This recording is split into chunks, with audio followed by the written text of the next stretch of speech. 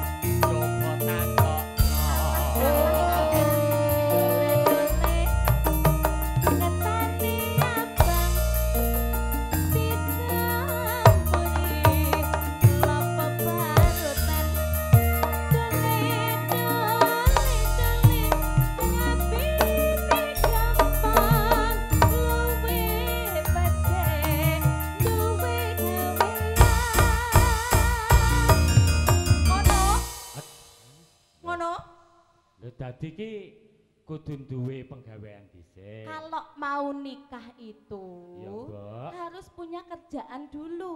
Ngono ta, Mbak? Heeh, aja go sak senenge dhewe.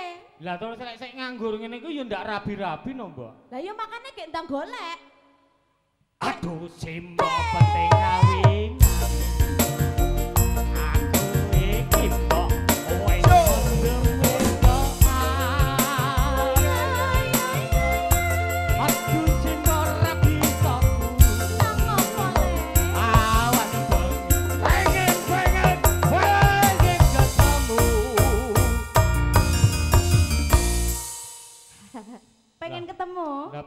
Ya jenenge nandang wuyung lho, Mbok. Jane sing kaya ngopo to pilihanmu tuh yang kayak apa to? Lendi sing klambin anu Coba, kene? coba dipilih dulu. Dipilih dulu yang mana? Mau yang pakai baju hitam? Alah lah, Udah, salah salah. main pedang-pedangan kok. sing anu ku lho, Mbak, sing rambutnya suwir-suwir lek mlaku ngene lho. Oh, mana ya? Ora enak kok, Mbak. Mana ya? Lah wong wis eh wong golek yo nang ngisore selambu. Oh wis mulih paling. Oh, udah pulang. Heeh, sudah balik, Mbak. Piye, Mbak? Ora gampang wong bebojoan.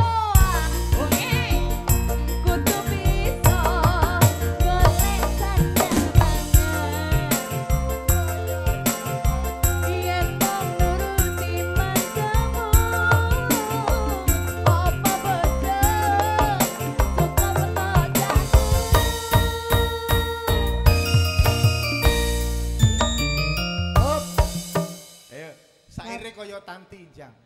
Ora ora ngono. Apa bojo? Terus Cukup tok jak turu. Eh. Ayo. Ayo. Apa mang butuh mbok keloni, Pong? Eh. lah kok Ayo, aja tiru-tiru Pak Agus.